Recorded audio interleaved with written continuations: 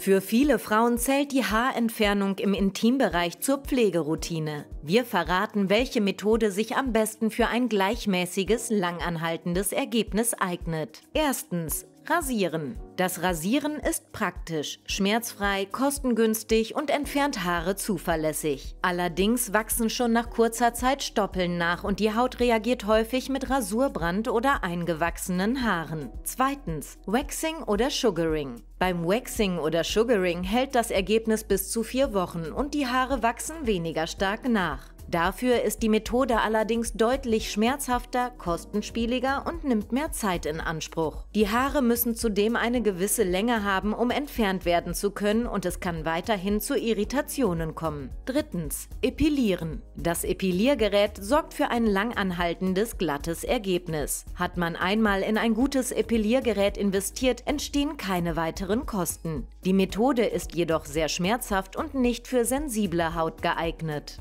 Viertens. Laser. Durch eine Laserbehandlung erzielt man ein dauerhaft glattes Ergebnis. Sie ist nicht sehr schmerzhaft und es kommt zu keinen eingewachsenen Haaren. Die Methode ist allerdings recht kostenintensiv. Es sind mehrere Anwendungen nötig. Außerdem ist sie nicht für dunkle, gebräunte oder tätowierte Haut oder sehr helle Behaarung geeignet. Fünftens. IPL. Die Intense Pulse Light Therapie ist der Lasermethode sehr ähnlich. Die IPL-Methode wirkt nicht so stark in der Tiefe, dafür aber flächiger als ein herkömmlicher Laser und es gibt mittlerweile sogar Geräte für den Heimgebrauch. Nachteil? Durch die Methode kann es zu Verbrennungen kommen. Sie ist außerdem nur für Frauen mit heller Haut und dunkler Behaarung geeignet. Sechstens. Haarentfernungscreme. Im Gegensatz zum Epilieren, Waxen oder Sugaring ist die Methode völlig schmerzfrei, entfernt die Haare aber dauerhafter als die klassische Rasur. Durch die enthaltenen Chemikalien kann es allerdings zu Hautirritationen oder allergischen Reaktionen kommen.